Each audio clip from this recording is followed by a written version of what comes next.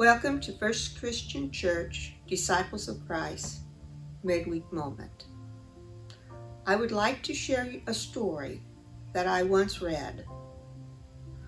A blind boy sat on the steps of a building with a hat by his feet. He held up a sign which said, I am blind, please help. There were only a few coins in the hat. A man was walking by. He took a few coins from his pocket and dropped them into the hat. He then took the sign, turned it around, and wrote some words. He put the sign back so that everyone who walked by would see the new words. Soon, the hat began to fill up.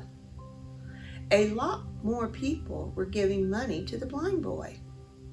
That afternoon, the man who had changed the sign came to see how things were. The boy recognized his footsteps and asked, Were you the one who changed my sign this morning? What did you write? The man said, I only wrote the truth. I said what you said, but in a different way. I wrote, Today is a beautiful day, but I cannot see it.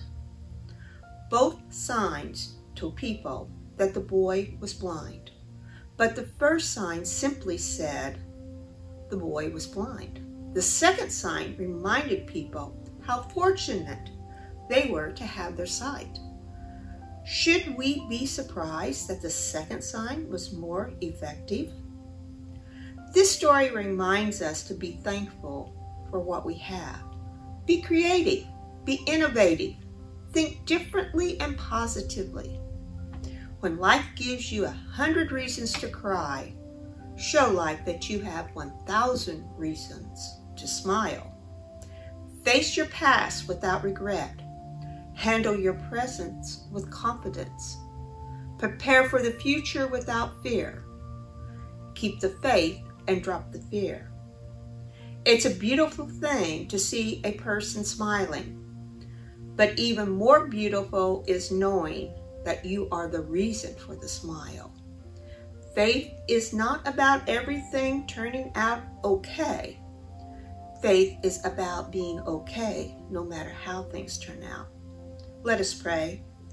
Heavenly Father, we give thanks for the many blessings you have given us.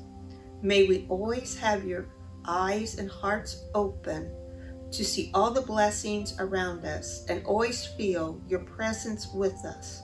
In Jesus' name, amen.